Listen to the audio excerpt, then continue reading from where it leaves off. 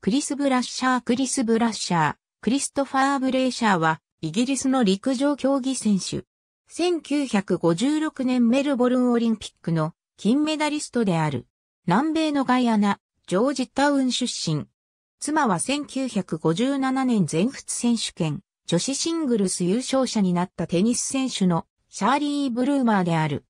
ブラッシャーは1954年5月6日、オックスフォード大学、イフリーロードのトラックで行われた1マイルのレースで、ロジャー・バニスターのペースメーカーを務めた。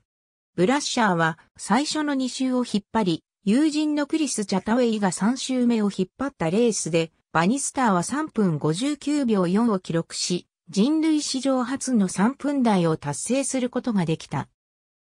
ブラッシャーは2年後の1956年にメルボルンオリンピックに出場。3000メートル障害に出場し、8分41秒2のタイムで1着でゴール。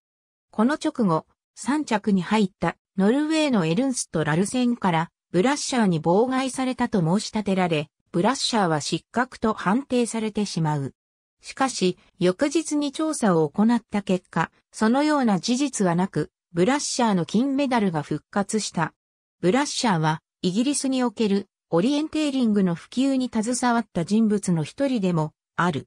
1957年にはイギリスの新聞オブザーバーで初めてオリエンテーリングについて紹介した。その後はスポーツジャーナリストとして活躍。1981年から始まったロンドンマラソンの創設に尽力した。ありがとうございます。